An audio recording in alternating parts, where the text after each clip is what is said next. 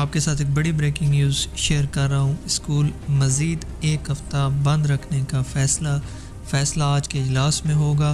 पंजाब भर में 24 घंटे के दौरान आशोब चश्म के दस हज़ार दो सौ उनहत्तर नए मरीज़ रिपोर्ट।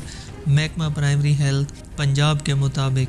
पंजाब में आशोब चश्म की सूरत हाल मज़ीद कशीदा।